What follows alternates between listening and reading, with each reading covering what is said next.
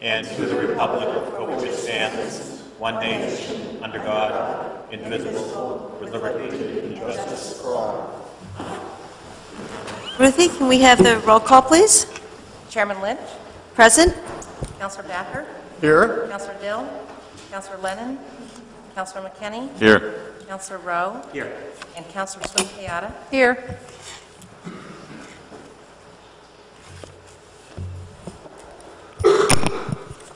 Okay, the next item on our agenda is um, approval of the minutes of uh, Monday, July 14th. Is there a motion? David? I move the approval of the minutes of our regular meeting number 13-2008 dated Monday, July 14, 2008. Second. Is there discussion? All in favor? Okay, thank you. Show that to be 5-0. And um, now it's time for reports and correspondence. Um, Before we get to any, I did just want to um, make mention uh, of B2B, and it would be hard to be in Cape Elizabeth and and not uh, observe that wonderful um, road race, but I think it's important just to um, thank um, many people that were involved. There were hundreds of volunteers, Cape Elizabeth citizens, who were involved in putting that race forward, and um, a number of municipal employees um, that have to work very hard to make that possible, including the fire department, the police department, our rescue, um, Engine 1 and Engine 2, um, the fire police, the wet team, Public Works, of course, works very hard setting up and um, cleaning up. And then, um, in addition, we have help from a number of towns, and I'm not sure how much people are aware of that, and we just really appreciate the um, intergovernmental cooperation. So I just wanted to mention that this year we had help from the town of Cumberland, Falmouth, Gorham, Portland, Scarborough, South Portland, Windham, Oxford, and Old Orchard Beach, and many of those um, towns provide uh, fire and rescue and police personnel and other personnel to make the race possible. There's no way that a small town like Cape Elizabeth could host B2B without the help of those surrounding communities. So I just wanted to take this opportunity um, to thank not just the volunteers in Cape Elizabeth, but also the many volunteers that we have um, from other communities um, and from the bank, um, but also those fire and rescue and police from our community and other communities. So just wanted to mention that. Paul? Thank you. I just wanted to give you a, a, an update on the Greater Portland Council of Governments. We've been pretty active over the last year, and I thought it would be timely to let you know what's going on. We had our annual meeting in June, and our, my good friend Jim Rowe attended, and that, it was really nice to see him there.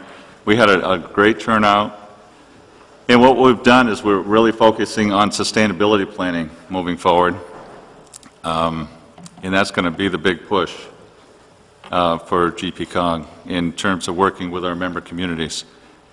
Uh, We added South Portland and Chebeague Island as new members, and um, we have not, uh, our dues for GPCOG have remained constant per capita for 19 consecutive years. So that we've done a really good job with, well, I shouldn't say I've done a really good job, but the, the staff, the executive director of GPCOG have done a great job in terms of managing resources wisely. Uh, We're we're going to take a delegation to Nova Scotia here very shortly, actually this week. Uh, It involves the uh, Greater Portland Council of Government Steering Committee, uh, members of the Portland Regional Chamber, uh, a couple of representatives from the Muskie School at USM, and a representative from Cumberland County, one of the county commissioners. And what we're going to do is go to Yarmouth uh, Regional Government and Halifax Regional Government and see what they're doing up there, uh, establish new ties, learn from them, and take back ideas that we can use and perhaps implement regionally here in terms of regional uh, cooperation and collaboration. And while we're there, we're going to also visit the tidal power station on Fundy Bay to see if there's anything that's applicable to our region. Uh, Also, this year, we joined uh, an organization called ICLEI, and what it is, is Governments for Sustainability. It really has to do with energy. Um, And what that does is gives all our member communities, 26 communities in this region, access to all of the resources from this organization in terms of uh, figuring out how to become more efficient, more energy efficient, and uh, it should be, serve as a very useful tool. Uh, One of the uh, things that we just did, uh, Maine Clean Communities, uh, one of the staff members from GPCOG heads up Maine Clean Communities, and we just had a display of hydrogen fuel cell vehicles. Maybe members of the community got to see this, but we had them at Fort Williams Park yesterday. And this morning, I was able to attend a, a news conference that had a, several dignitaries, and all the cars, there are nine manufacturers working on these. And these cars, um, they have a range, the range uh, varies, but they have BMWs, Honda, uh, GM and Ford are in it, um, Kia, you name it. And I, one of the cars that I looked at had a range of up to 280 miles, 74 miles per gallon, zero emissions. And what they're doing, these cars are going to drive 4,000 miles. They're going to um, drive down to North Carolina and then across to California. And what they're demonstrating is that these hydrogen fuel cell vehicles are, they're practical in terms of um, what they can do. They can drive just like a, a regular car. Difference is they don't use any gasoline, and, um, and they don't emit any emissions if they, if they're using the fuel cell. Um, The point is that we don't have the infrastructure built yet, but the Department of Energy is working on infrastructure development across the nation in terms of changing current stations and, and seeing what we can do. So, so it's pretty exciting, and it's really exciting that it started right here, um, you know, the, the travel, and it, actually, the first uh, demo was right here in Cape Elizabeth. Uh, One other item is, um, we've recently become a economic development district, um, and the Metro Regional Coalition, which Cape is a a founding member of, is working on developing an economic development organization in this area. And the, our, one of our first major projects is to build a biotech park in uh, Westbrook that should provide about a 1,000 high-paying biotech jobs in the next 10 years. So that's an update. Thank you, Paul. You're welcome. There are other reports or correspondence? Michael, Town Manager's report? Yeah, uh, Thank, you, thank you, uh, Chairman Mary Ann. Uh, Just a couple of quick things. Just wanted to bring everyone up to date on Spurwink Avenue and what's going on. The Maine Department of Transportation and a local, and a and a contractor that they've hired has been working on paving the section from uh, the Spurwink Church down to uh, the the power substation uh, on Spurwink. That work is nearly complete, complete. They've been waiting to paint the lines. However, the rain has uh, necessitated delaying that a number of times. Uh, They they really only have a couple of days left work. There's a tiny bit of guardrail to go in, and there's there's those uh, those lines, and as soon as those are in, that should be done. The section that extends from the power substation to Purpoodock Club is a is a town project with without any state or federal dollars. Um, And uh, the the reason for that is because if if it was done with federal and state dollars, it would have to be built to the federal standards, which would mean taking out the tops of the hill, which would mean moving back the ledge, taking out tons of ledge. It was about a $4 million project. Uh, Instead, the town's just, the Public Works has been fixing the shoulders, uh, and we'll we'll just, we're just going to be shimming it and paving it for a cost of uh, probably in the range of 70,000 uh, versus the 4 million. So anyway, uh, that work should be done, weather permitting, by around the end of the month. Uh, So if anyone wondered what's going on with those projects, uh, they're they're expecting to be done. The other thing, every year in the town report, we look at town statistics, and I thought it'd be interesting to look at a few of them in 1990, the year 2000, and also 2008. And, for example, births, the three years around 1990, they averaged about 81 a year. The last three years, it's been 62, 61, 61. So we're, we're, we're virtually down about 20 births uh, compared to what we were getting, you know, back, to, uh, back in 1990, almost 17 years ago, or about the time, you know, to look at it from school, for, you know, school purposes, just births alone, which has, it has a little bit to do with school population, but not totally, because there's not a lot of in-migration. It's, it's a drop of about 20 births on average each year now compared to what it was when the the graduating seniors uh, were, were born. Uh, Marriages are way down, but from 166 in 1990 to 43 in 2008. Uh, But that has somewhat to do with changes in law and the way you, you, you get a marriage license. Uh, You, you no longer have to go to a couple of different town halls. You can do it much easier than, than the past. So uh, less revenue, but uh, just as many marriages perhaps. Uh, New single-family home construction. The last two years total, there's been 24 homes built. 10 in the fiscal year that ended a year ago, and 14 this past year. Th- That 24 over two years, if you look at all the years we've kept track of, we've been keeping track of the statistic over the previous 18 years, the low for any given year was 23. So in the last two years, we've met the low for, for the last 18 years. Uh, You know, even combining the two years together. That, by the way, it was fiscal year 1999 when we had 23 homes built. Uh, Police arrest, for those that are concerned about those things. In 1990, we had 103. The year that ended June 30, we had 96. Summonses, for those that see the, the the blue lights at the side of the road. In 1990, there were 929. In the 12 months just ended, there were 492. Uh, Rescue calls this past year were 477. So there was- there was a little better chance of getting a police summons than there was of needing the rescue. Parking tags, for those that, that uh, have been unhappy about some of those, we, in the year 2000, we had 480. In the year 1990, 446. This past year, 111. So th- those of you that, that got a parking ticket were extremely unlucky.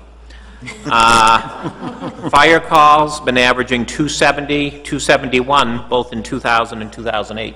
Interesting, almost the same. Vehicle accidents, 118 last year uh, on the roads of Cape Elizabeth. Uh, Public safety training hours, Th- these are our fire, police, uh, our wet team, our engine companies. Back in 1990, there were 6,300 hours. This past year, there were 13,000 hours. And I don't think many other communities could look at their public safety volunteers and see a, you know, a doubling of it since uh, 1990. Uh, You know, I think pretty significant. Moorings, uh, these are the moorings particularly off uh, Crescent, also down at Maiden Cove. We've gone from 80 in town to 103. So, you know, a few more boaters. Some of that gets, when the economy gets a little bit tougher, folks like moorings a little bit better than they like docking it at a marina because of the, the added expense of docking at a marina. Tons of recycling. In the year 2000, there were 2,100 tons. This past year, there were 4,800 tons. It's more than doubled. Solid waste, that what goes into the hopper at the transfer station, in 1990, it was 3,700. This past year, it was 3,275. So that's, that's showing uh, declines. Miles of town road have gone up about six, from 56 to 62 from 1990. Library circulation, 103,000 to 138,000, up 35,000 since 1990.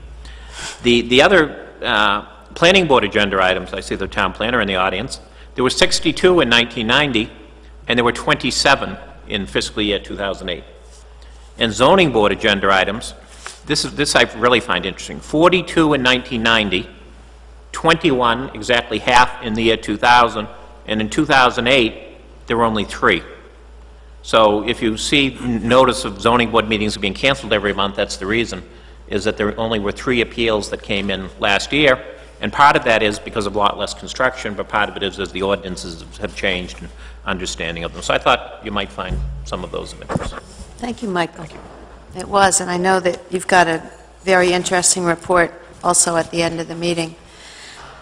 Okay, the next item on our agenda is a presentation from Nancy Marshall, who is on the Thomas Memorial Library Board of Trustees. And Nancy is going to give us an update on the Library Study Committee. And I will move out of the way, Nancy. Okay. Uh, right there, the button. There I am. All right. Okay, Thank you. Thank you, Chairman Mary Ann. Uh, Very happy to be here tonight to uh, bring you up to date on the work of the Thomas Memorial Library Study Committee. Um, Just as a beginning, over on the left, you see the Thomas Memorial Library around uh, 1950. And the reason we know that is because the bobby socks that the women are wearing. And then on the right is Pond Cove Annex uh, around 1920, and in the center, the Thomas Memorial Library, as you see it today. In April of 1919, Thomas, William Widgery Thomas Jr. dedicated the Thomas Memorial Library, and in his dedication, he challenged the community of Cape Elizabeth to keep the light of the library burning forever. And the town has done a wonderful job in that, and we are, I believe, embarking on another great uh, segment to keep the light burning in the library for the, for the community. Um, The Library Study Committee is made up of the seven members of the Board of Trustees. Uh, I am the chair, Edna Doe is the secretary, Jay Sherman, the library director, acts as ex officio. We have Pat Breedenberg, Robert Chatfield, Penny Olson, Nancy O'Sullivan, and Evan Roth. The town council representative is Ann Swift-Kayatta. The representative from the Historical Society, uh, Norman Jordan. And the Thomas Memorial Library Foundation had a representative.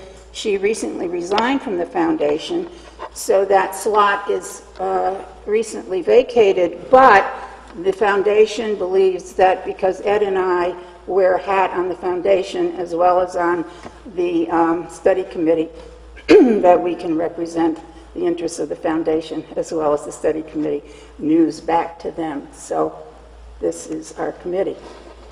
Uh, The town council charged the study committee with the following.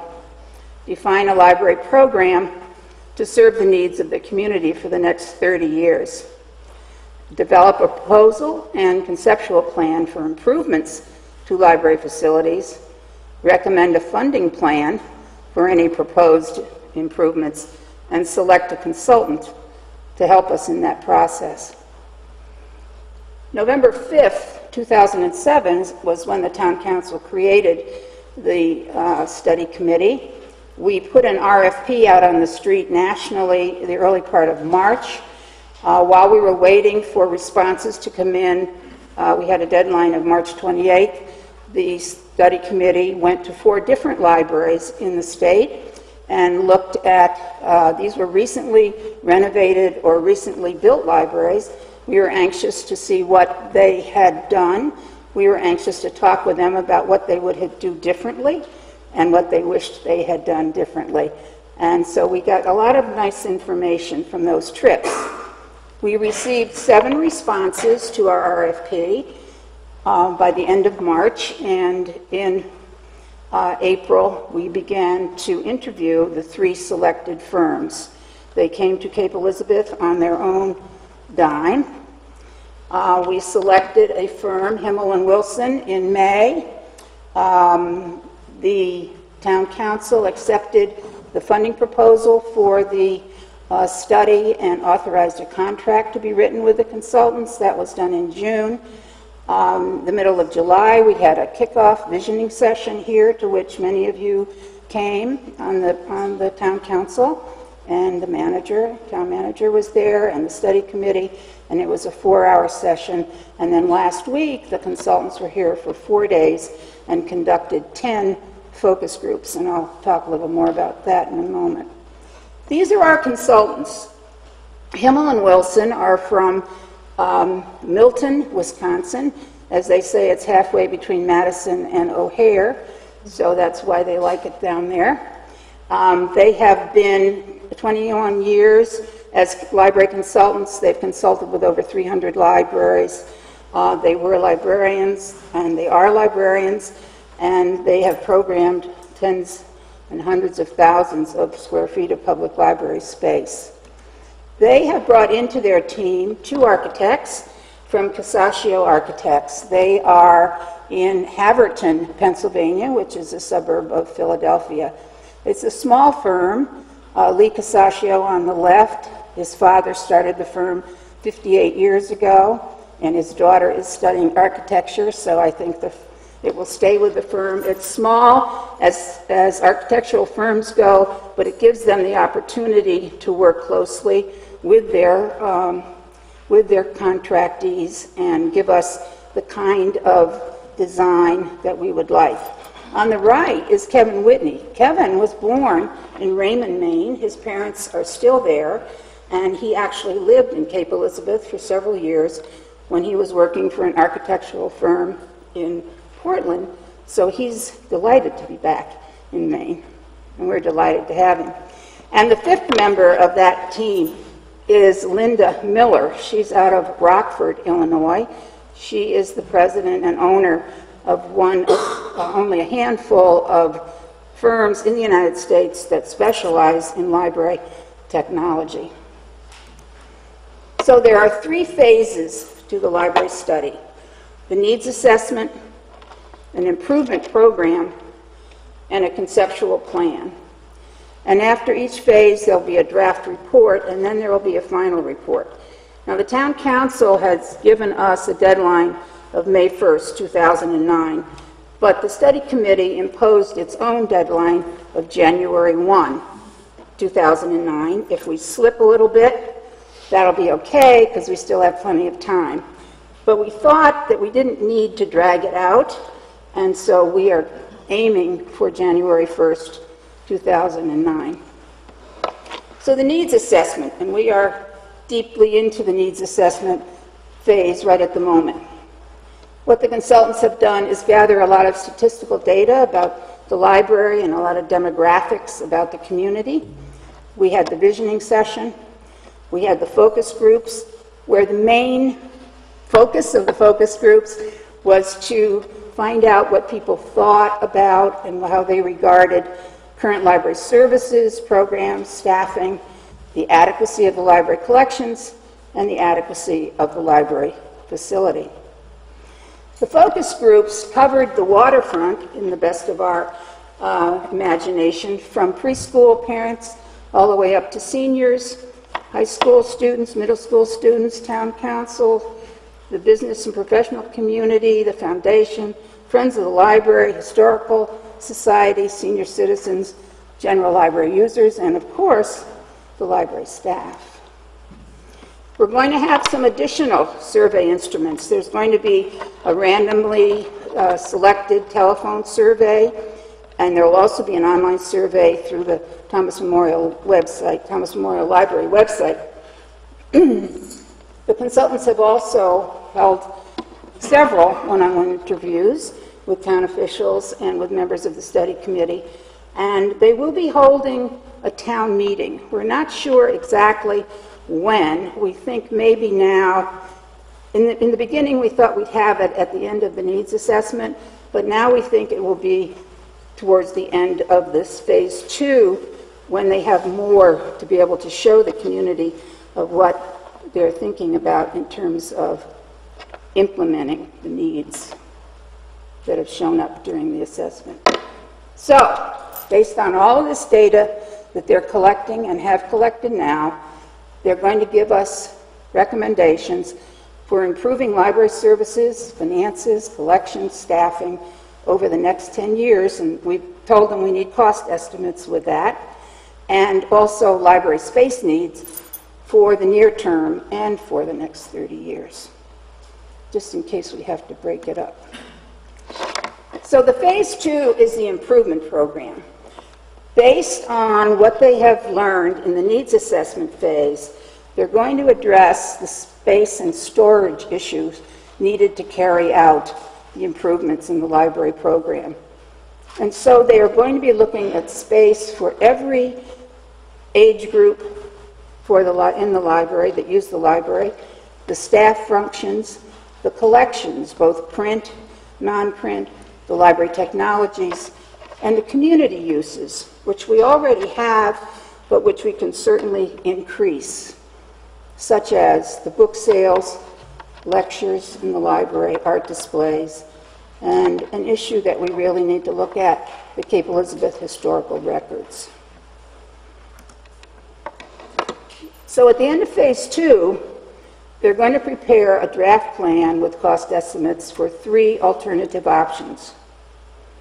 Should we renovate the current structure? Should we look at construction of new space in addition to renovation? Shall we replace the current library? And I suppose there is a fourth option, which is do nothing, but that's not really too high on anyone's agenda, I hope. But in all of these scenarios, we have to look at the viability of the two historical buildings in the planning process.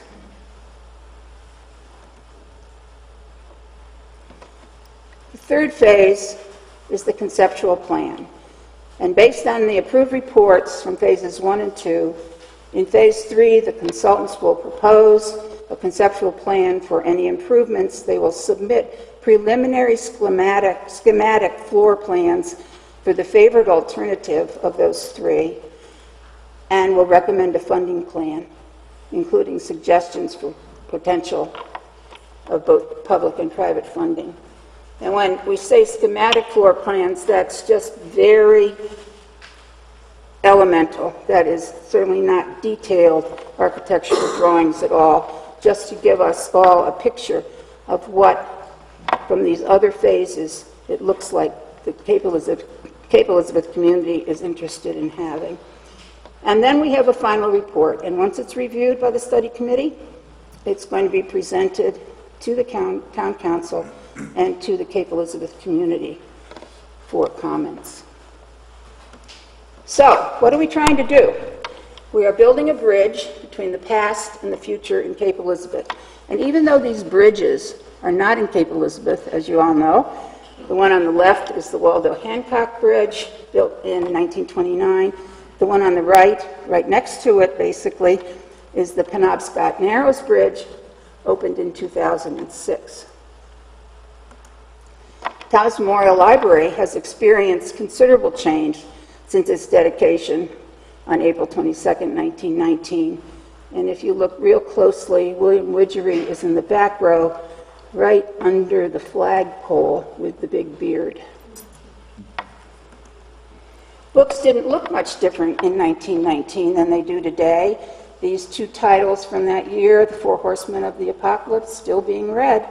I don't know if anyone's reading Dangerous Days, but Mary Roberts Rinehart is still a well known author.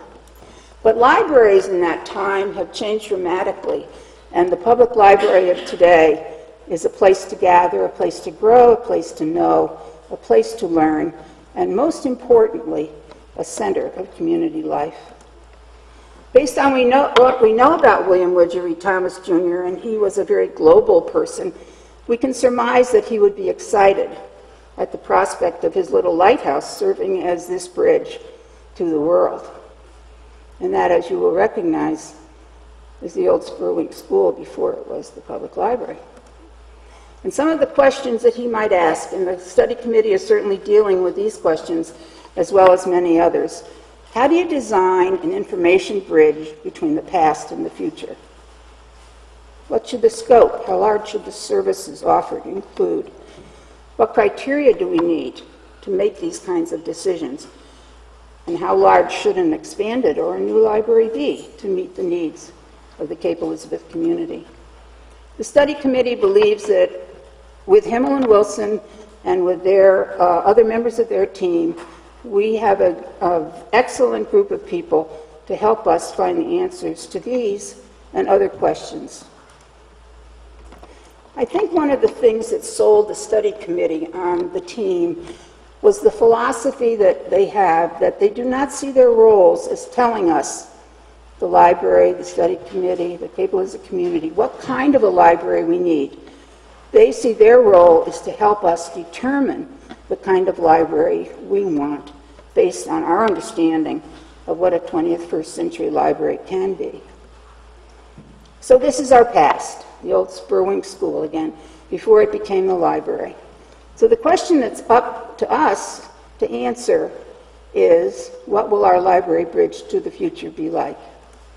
Several years ago, the library had a little contest with young members of the community, and they asked the community students, little young children, what they thought about the library.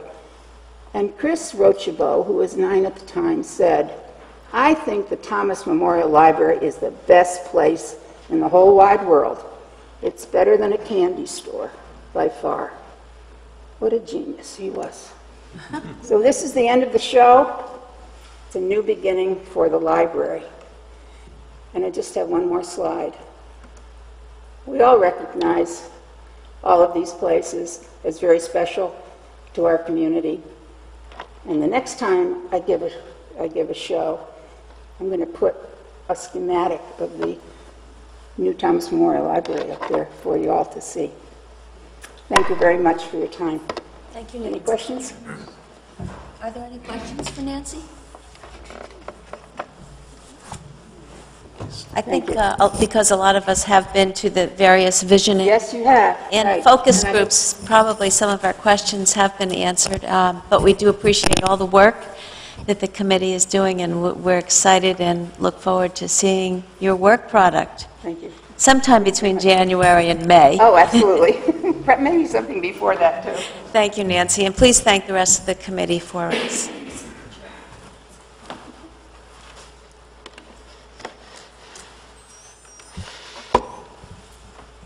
Okay, the next item on the agenda is citizens' discussion of items not on the agenda. So if anyone is here and would like to speak to an issue that is not on our agenda, now is um, the time to do that, although we also will have time at the end of our meeting as well.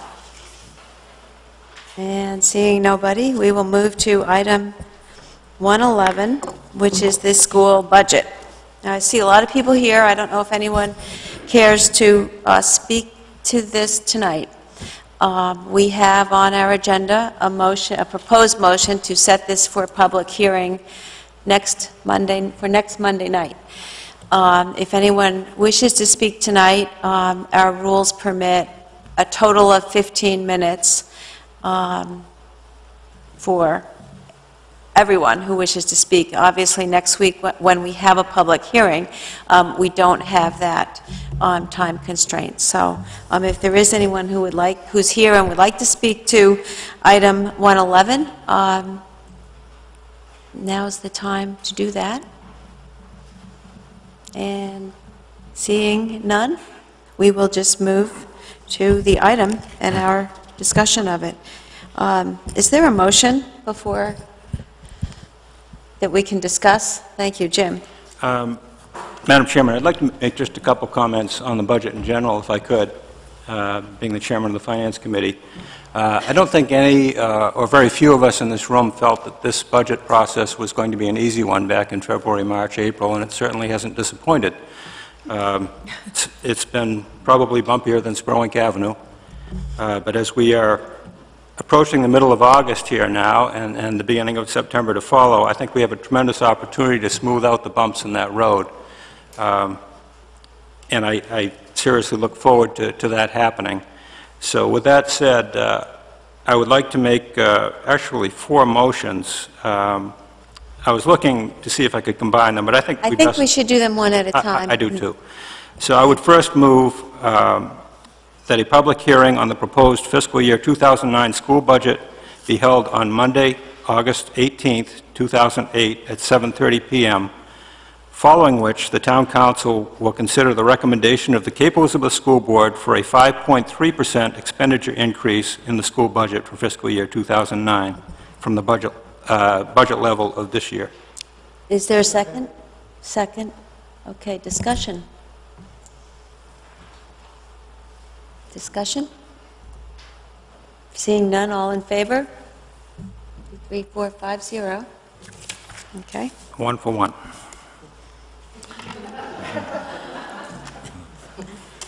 Uh, I would also move that on August 18th, 2008, the town council uh, approve a revised school budget and authorize a budget validation vote to occur on Tuesday, September 2nd, 2008.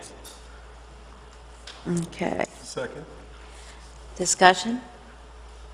All in favor? Five, zero. Great. Okay. Moving right along. My third motion, um, I would move that the town council request the town manager to work with his staff to immediately begin accepting applications for absentee ballots, to have absentee ballots ready for voting on August 19th, 2008, to provide that the tax commitment will occur on September 3rd, 2008 pursuant to the school consolidation law and the assessment statutes of the state of Maine, and to have October 2nd, 2008 as the first of two tax due dates for fiscal year 2009, with the second being on April 2nd, 2009. Second. Discussion? All in favor? Five, zero. And finally, um, I would move that the ballot for the validation vote also include an advisory question on the ballot, similar to that that appeared on the two previous budget validation votes, uh, asking if the budget uh, as proposed is too high or too low. Okay, is there a second? Second. Discussion? David? The, the question that keeps popping up is whether or not there should be a third option. And whether there should be a, not a just right, but reasonably acceptable or some other, some third option for people who want to, who want to vote yes and still fill in another circle. I mean, there- there's no reason why somebody can't vote yes and leave the yes or no alone. That's still an option, but I think that there is a sense that people want to be able to do more than just vote yes or no. They want to vote yes and then go on to the next one. So the uh, suggestion is that there be some third option to add.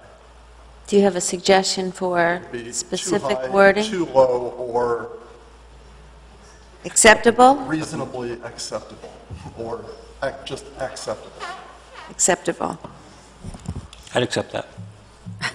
As do, An acceptable I. amendment, so as do I. we will, we'll take that as an amendment to your motion. You want that in the I want middle? it- That would be in the middle, In the middle. I think. Too high, Aye, acceptable. acceptable, too low. The order, the order is indifferent to me. Probably important. Flip a coin, I suppose, too, but, okay. Further discussion? Seeing none? I I just have a question. Yes. I just want to make sure I know what the motion is. Um, The motion is to include an advisory question on the ballot, um, and the the three options would be too high, acceptable, and too low. That that I find, with this, the same line before that that was on the previous ballots, I find the, the the budget as You presented. want to read that? Whatever the wording is. Would you like me to? Would you please read Yeah, it? I We- find We that- have the I just wanna draft, make so. sure. Uh, It will read, "I find the school budget adopted at the August 18, 2008 Town Council School Budget Meeting to be too high," and then a spot to fill in, is it filling an oval now? Yeah. Acceptable, a spot to fill in an oval, and too low, and an oval. Okay, thank you. I just wanted to make Okay. sure. So, and the staff is clear on what it will say, and we're clear, so no further discussion? All in favor? Five, zero. Okay. Well, I we will move to item 112, and we have a public hearing on um, amendments to the comprehensive plan. And I don't know if people are staying for that. If you're not, I would ask that you clear the room quickly so that we can continue our work. Thank you.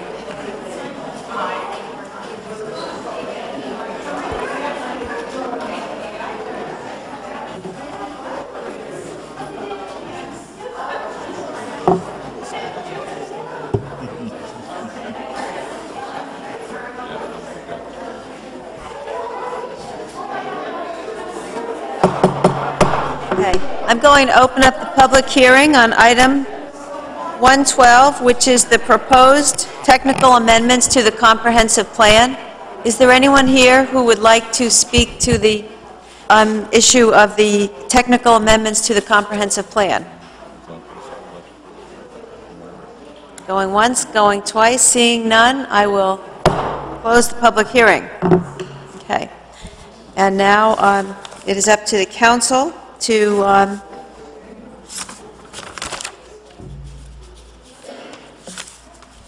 discuss this. Do we have a motion?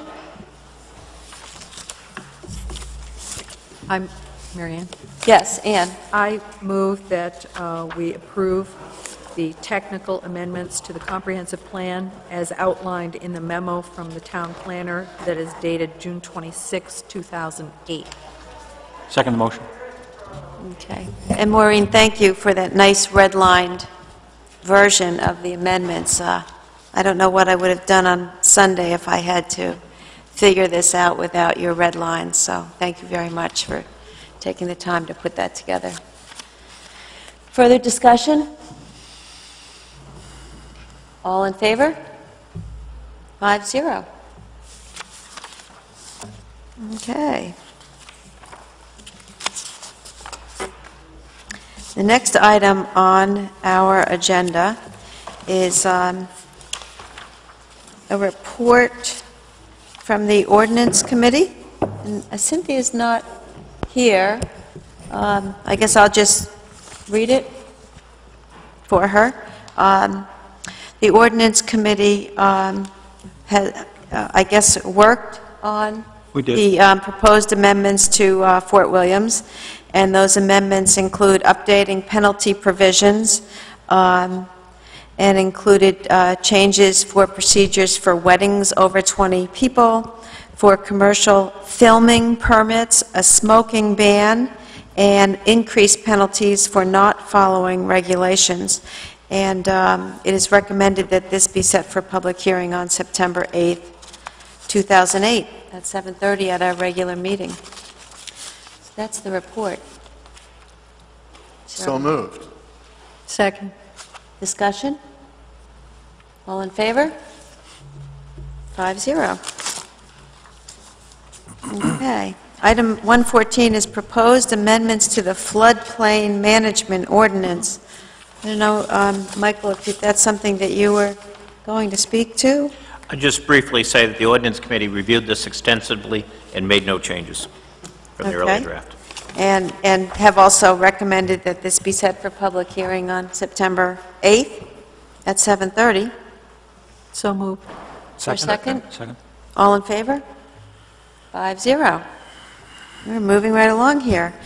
Okay, um, item 115 is a um, proposed revision to town council rules, and one of our goals this year was to um, develop greater protocols for responding to citizen comments.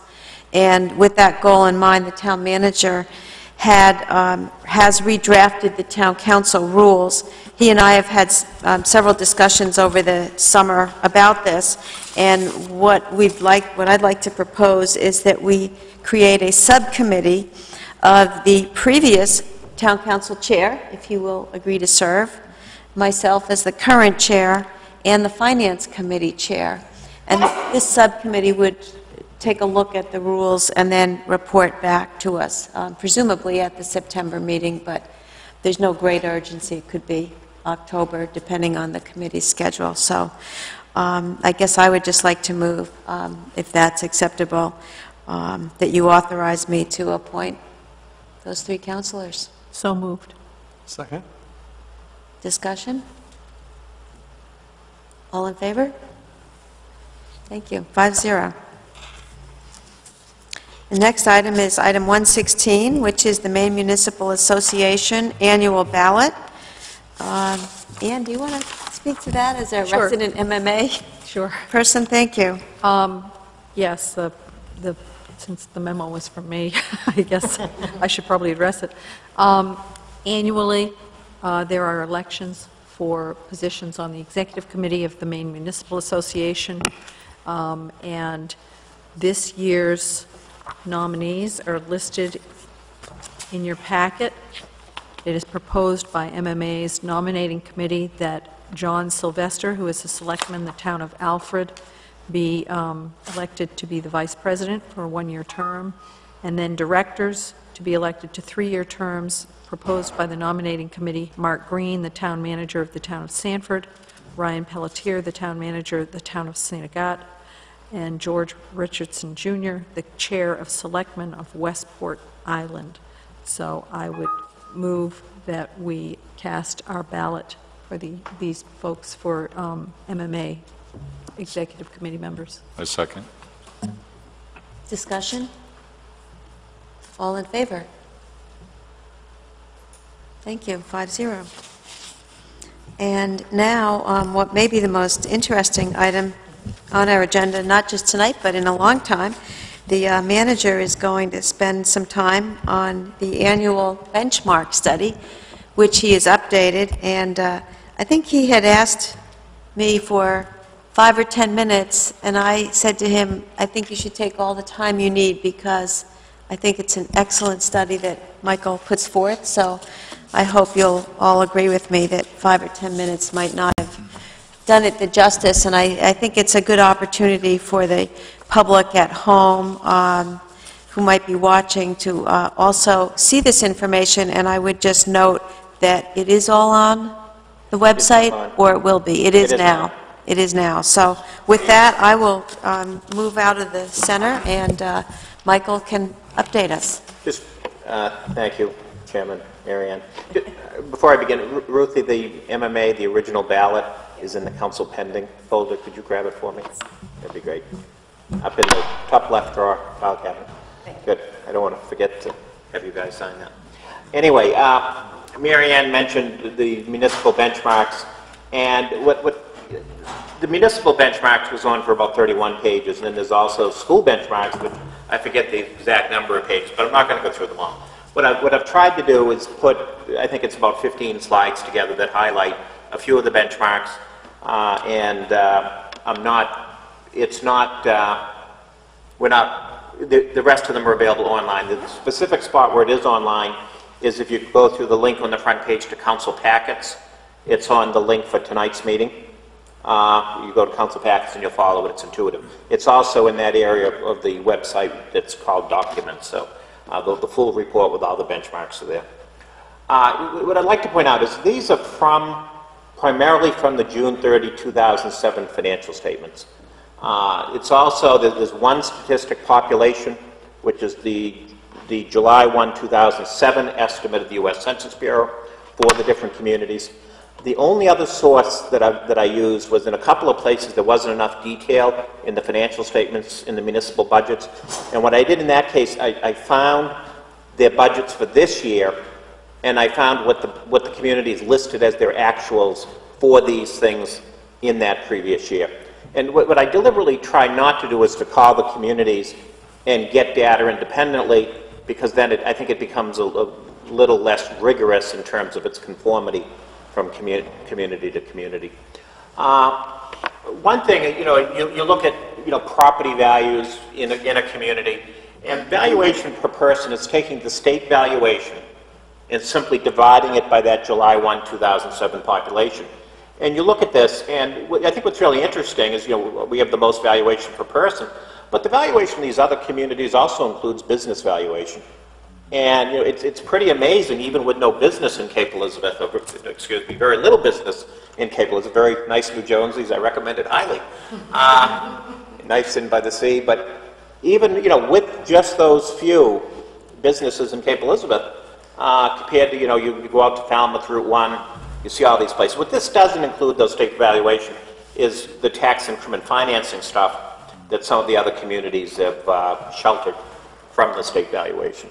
But again, this, you know, goes into school funding and other issues. It's an important issue, what state valuation is. That It's interesting, at Rotary this past week, Adrian Murphy, who's a local real estate person, spoke and uh, did a very good job, and she indicated that their sales and what they've seen from, all, not their sales, but all of the sales in, in Cape Elizabeth, the value is just down 2%.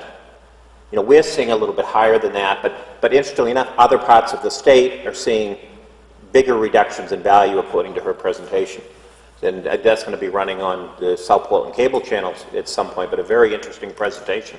Uh, Adrian Murphy, local Cape Elizabeth resident, made on, uh, on the different, the- what's going on with the real estate market. If you look at full value tax rate, this is calculated by looking at the amount of the tax commitment and dividing it by the valuation. And you look, you look at this statistic, and Cape Elizabeth has the low, you know, next to Scarborough, which is just a penny less, the lowest full value tax rate in the region. And you look at, you know, the communities we usually compare ourselves to, you know, Falmouth is, is a a bit above us, uh, South Portland is a bit, a bit more than a bit, and Yarmouth and Cumberland are, are uh, you know, particularly percentage-wise, you know, uh, they're up, you know, 40, 40% higher than Cape Elizabeth, and that's, you know, the $300,000 home in Cape Elizabeth is paying approximately 1079, and the $300,000 home in Cumberland is paying 1515, but pretty significant statistic. But then you go around and you look at tax commitment per person, the actual commitment.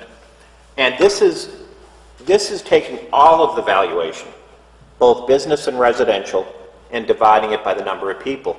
And it's interesting, while, you know, we were at the very bottom with Scarborough, when you look at the tax commitment per person, this is because of the higher property values, the valuations you just saw, we're, we're second uh, to Yarmouth, but you look, we're, we're, we're second to Yarmouth, but we're $500 below Yarmouth.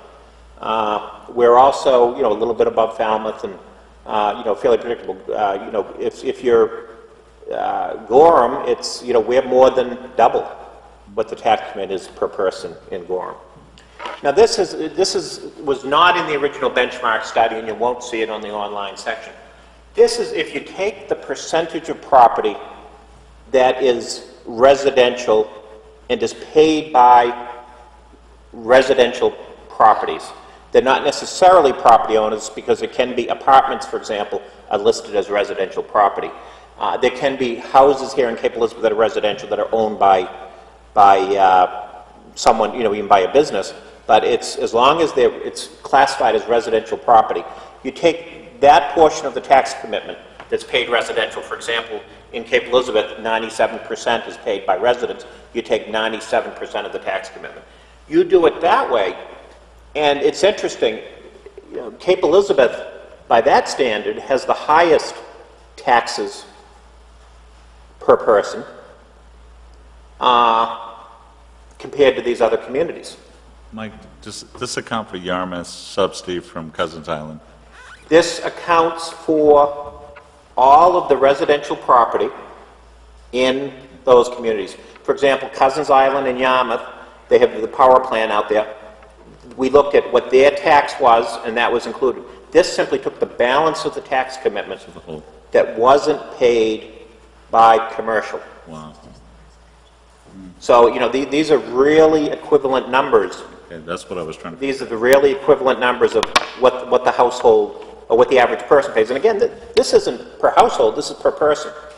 So, you know, if the average household has two, two folks, uh, you know, it would be 4,600 uh, in taxes. And we all know, I think the average tax is actually a little bit higher than that at this point. Uh, What, so that, that's the general taxes, and, you know, I think that the basic message on all that was, is, you know, depending on which way you look at it, you can use the, the statistic that is beneficial to your argument. If you believe taxes are the highest in Cape Elizabeth, there's a, there's a statistic there to show it. If you believe that full value tax rate is what really matters, we're about the lowest uh, around. But, you know, it's, it just shows different, different benchmarks and statistics can show different things. Intergovernmental revenue, this is what you get from the state, the feds. It includes the school subsidy. It includes state revenue sharing. Uh, Those, those are the main highlights. 13.8% of everything we spent during the fiscal year that ended June 30, 2007, uh, came from the federal and state government. That compares to 45% in Gorham. Gorham is a very high receiver, state school subsidy. Brunswick, interestingly enough, gets a lot of money because of the, the base there. There's, there's a program, if you have federal, uh, federal employees, uh, students, uh, kids in your school, you, you get quite a bit of money. But again, you know, it's, uh, you know, I think South Portland residents would be surprised to see that that they actually get less from the state and federal government, or they did during that particular year, less than Cape Elizabeth. Uh, This is, and and deliberately in this slideshow, I'm not focusing on education. And the, the education benchmarks were, were available about a month and a half earlier. And, and because I'm, I'm trying not to get involved in the, the give and take of the current, uh, you know, since it's a vote coming up, I'm, I'm, this is excluding education. This is what Cape Elizabeth spends for all services charged to the general fund. That's an important factor. Uh, excluding education. And you see, if you exclude education, you know, Falmouth is spending an awful lot more per person, per capita, on its municipal government than Cape Elizabeth is. So is in Scarborough and Yarmouth. You know, it, this, you know, we're down, you know, with Cumberland, Brunswick, you know, so- we're very close to, almost, you know, right on top of South Portland and, and uh, Freeport and Cumberland. We were sort of in a cluster there. The general government is, it involves the expense for the town council, the expense for elections, assessing, codes, planning, all of the financial administration of the town, the town manager, uh, boards and commissions, uh, in the insur- miscellaneous insurances, uh, you know, the, the uh, general comprehensive liability and those type things. Uh, What Cape Elizabeth spends is 3.7% of all it spent, both town and school, uh, on general government. Uh, You know, South Portland, for an equivalent benchmark, is spending nearly 12%.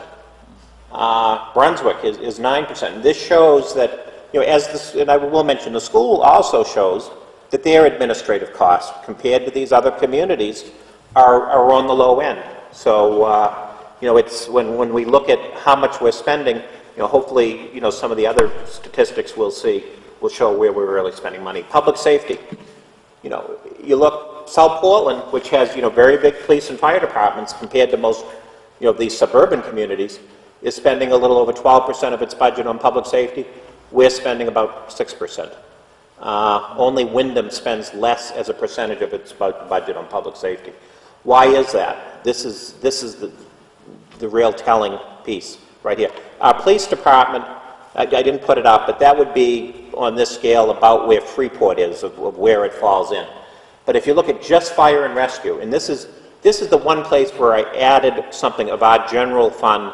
The rescue fund isn't our general fund, but I added it in, just to, to make sure that we were comparing apples to apples, and I knew some of these other communities, it it was included. But if you include, you know, the, the full amount for fire and rescue in Cape Elizabeth, we're spending $45 per person. Scarborough, you know, is spending 139 per person. Uh, Substantially different. This is, you know, a real credit to the volunteers in our fire department uh, and the rescue uh, that we're spending that much less per person uh, than those other communities. Public works include both the highway, traditional public works, as well as uh, refuse disposal and solid waste. In that, we're spending, you know, we're, we're sort of in the middle. We're spending $194 per person, we were a year, year ago. Uh, and you can see the range is from Scarborough at 308 to Brunswick at 129. Michael, Yes? on this chart, um, can you tell which communities uh, have gone to a pay per bag for go to- solid waste? Let's, this one is specifically on solid waste. Uh, And you look at, you know, and again, this is per person, and this is both solid waste and recycling. We're spending 92, uh, Freeport and Gorham are considerably less, Brunswick less. You notice Falmouth is missing there? They- I did not have good data from Falmouth, but uh, Falmouth, we know, has a, you know, would be on the lower end of that based on, based on the program that they have. But, uh, you know, and there's another spreadsheet which you'll be getting for your September 11th workshop that really digs into the solid waste cost. We- We're now, we recycle amongst the ecomaine communities in Greater Portland, the, the, the communities we usually compare, it doesn't include Westwood, not an ecomaine community, doesn't include Brunswick. Where we have recycled per person 14% more than the mean. So we're doing okay recycling. For solid waste, the stuff that's put in the hopper, we're 61% above the mean. We put 3.2 units in the hopper for every one unit we recycle. 3.2 pounds in the hopper. for every one we recycle of all the, of the stuff that goes to ecomaine. This doesn't include the stuff that goes to the rest of the refuse disposal area. The the, the mean for the communities is 2.3. Falmouth, which you, you mentioned Falmouth, is 1.19 to 1, their ratio. So Falmouth is almost recycling as much as they're putting in to, to the trash of ecomaine. And we're, so we're three times what Falmouth is doing in terms of how much we're putting in the hopper versus recycling as a ratio. So, and you can see, you know, some of these communities have residential pickup. Hmm. And even without residential pickup, we're spending on, on the higher end per person for solid waste recycling. And the reason is we're 61% above the mean, and, and ecomaine charges $160 a ton for that. The, the recycled is closer to $40 a ton if you really looked at all the expenses. So it's, when you're, when you're that much above the mean, uh, that's, you know, and you look at, you know, you look at this, you know, Cape Elizabeth, uh, tax rates lower, some areas we're spending lower, and then, you know, we, well, you begin to say, where are we spending higher? This is, this is one of the areas. Any questions on that? We, we, um, this is a very large percentage of our budget as well, right? It is, and Solid the waste. percentages in there is what we sen- spend as a percentage of that versus the other communities. This is parks and community programs per person. And this is, this does not include offsetting revenues. We are spending about 186 per person. Windham is spending $16 per person. Uh, You know, substantial difference. We're, you know, 70% more than the next nearest community in Freeport. Why is that? People look at that and say, oh, Parks, Fort Williams. Very little of that is Fort Williams. What that is primarily is community services, the pool and the pool. Lesser so the fitness center and the rest of the parks. But what- what's really hitting that and what throws it that much more than all the, the other communities uh, would be the pool and uh, uh, the, uh, Community service. and community services, yeah. We have a very robust program. We do. And again, like South Portland's not listed there, that's because, looking at their audit statement, I couldn't seem to find anything that made any sense that there was a comparable number. Ann? Mike, do you have a sense of what the offsetting revenues are for community services in the pool? Yeah, the, the offsetting revenues would probably, if you looked at, you know, I, don't- but the problem is, I really don't know what the offsetting revenues are for all the other places. This is Right, just no, I- I understand. But our offsetting revenues are, on community services, is- are substantial. There's, you know, we, we fund about 150,000 of community services for about a million dollar budget. So there's, you know, you divide 850,000, that brings that down by 100. Just community services alone would bring the 185 cost down to 85. Okay. And then you add the pool revenues and that, we're probably in the uh, 50, 50 range. However, this is just expenditures, doesn't include the revenues for the other communities. Okay? Uh, I think this is the last one. You know, we just had the presentation from the library, and we, we know that there's interest on land conservation, there's interest on, on uh, pathway along Shore Road, uh, there's some possible sewer work coming up, uh, you know, there's, there's any number of issues. Uh, And this is where we stand with the other communities for debt. Cumberland is, uh, is up there at the top. In this case, we're, we're above the average. And, you know, we- that's one reason we're at a cycle now, that we're looking for two or three years of not borrowing money uh, and, and paying down debt, is in part to bring us down into the, the the mid- mid- more middle range of this chart that you see. Anyway, that's, that's the presentation. There's a lot more data in the actual handouts, but I think these give a, a picture of the, the key points. I, I didn't put undesignated surplus, Mary Ann. Uh, and, uh, you know, the library, we're, we're in the middle to a little bit low. Uh, you know, in some of the other areas, it, it's difficult to tell or to segregate because the communities don't segregate them as well. So, be happy to answer any questions. Does anyone have any questions for Michael? I, I just have one question. I know we'll go into this later, uh, next month, but um, as we, as you pointed out, our solid waste dis- disposal is very high, and that means we have a larger percentage of solid waste, not not only an amount, but a percentage-wise uh, for EcoMaine. Does that mean we also incur additional cost as we have greater utilization? Is it just the tipping fee, or are we paying more in terms of the debt and that sort of thing? If, if you look at the, the bullet points down below here, it's, as I mentioned, uh, it costs $160 per ton to place trash at EcoMaine, plus about $20 per ton in transportation costs. Uh, There is no charge to place, they don't charge for recyclables, but, you know, being generous, and it's probably a little bit high, it's $40 per ton for transportation and other costs. Therefore, for every ton of trash that is, that is instead recycled, we're saving $140 per ton. If Cape Elizabeth reduced trash to the mean level of 462 pounds per person, we're at 742. If we reduce to 462, the town would, would save, the town's taxpayers would save $173,000 if all of the, uh, if it all got simply shifted to uh, recycling. If we also reduce trash to the mean, but that 20, 20% of that was reduction and the 80% went to recycling, would save 100, about 183,000. But you look at these numbers of, you know, we're, we're recycling 233 pounds per person. Scarborough's doing 338, but, you know, overall, we are at 14% of the mean. And notice these are weighted mean. That means it's not simply taking the means above and dividing, it's weighting it based on the population, so it's a, it's a more of a true number. This, uh, these are our total annual tons. I think as long as you asked about recycling, you get a preview of some of the stuff for next month. Uh, Last year, we reduced our tonnage going to EcoMaine by 10%. Uh, Overall, these communities that go to EcoMaine, and there's other communities, but these are the ones we usually compare ourselves to, uh, they went, overall, it went down 8.4%. Our, I need one more line up here so you can see the heading. Excuse me, Michael. Yeah. It says that Scarborough went down 22%. Yes, they went down 22%. What, do you have a sense of why? Did, they- are they doing Curbside something differently? recycling. Curbside recycling. Okay.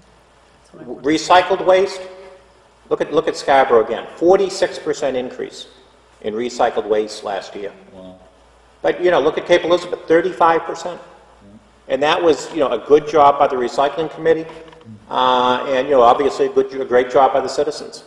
Uh, But, but overall, you know, you, you look at, you look at us compared to Yarmouth, uh, Falmouth rather, uh, you know, we, we have, uh, they have twice as much recycled rate, and it's, uh, their population is, uh, their population is more than ours. But, uh, but you look at, you know, you look at their ratio, uh, Falmouth is 1.2 and we're 3.2. Commercial waste, this shows the, the, not so much business in Cape Elizabeth. We only had three tons last year. You look at Portland had 48,000 tons.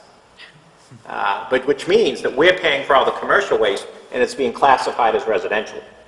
Uh, That's the, you look overall, if you add residential, recycling, commercial, last year we went down 2%, where the, where these regional communities went down 6%.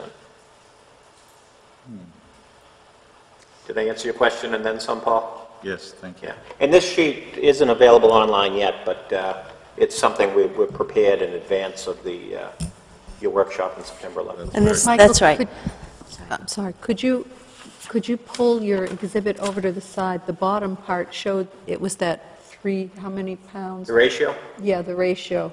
Could Yeah. could we just see that? So 3.2. we're at 3.2. 3.2 pounds. for- You know, South Portland's at 3.6. Standish at 5.2. Yarmouth's at 3.5. Okay, great. And you said we will be able to get this information? I can email it to anyone anytime, but uh, This is the subject of the September September 11th 11th. workshop, Yeah. and uh, yeah, it's certainly available beforehand, but we'll get into it in even greater, I, I think as long as we can get it a little before the workshop, that would be very helpful, just to be able to look at it to prepare for the workshop. I'll email it to you tomorrow, and then Great, I'll thank you. send it to Wendy, and we'll put it with, probably under documents on the website. That's it. thank you. Manager Mike. That was great. Thank you, Mary Ann.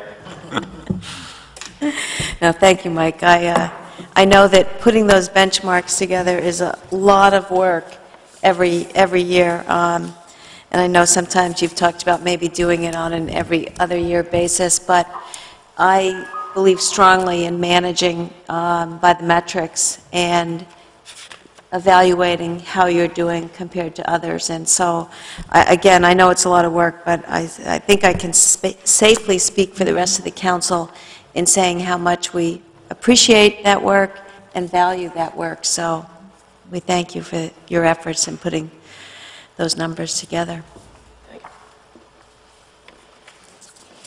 Okay, um, the next item is uh, citizens' discussion of items not on the agenda.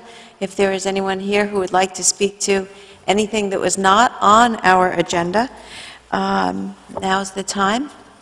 And seeing none, before we have a motion to adjourn, I will just announce again that we will have a public hearing um, and town council vote on the school budget next Monday, August 18th at uh, 7:30 here in this chamber. Um, I'll just mention to the uh, town council that you are all invited to the annual employee, that's the municipal employee recognition luncheon, which is August 20th, and you should RSVP to uh, Deborah Lane. Uh, The next town council meeting is September 8th at 2, uh, at 7:30 here, and then we do have a workshop on the recycling and solid waste issues, which um, Michael just hinted about, on September 11th. So with that, a motion to adjourn would be in order. So moved. Second? All in favor? Five zero. Thank you. I think everything we did tonight was unanimous.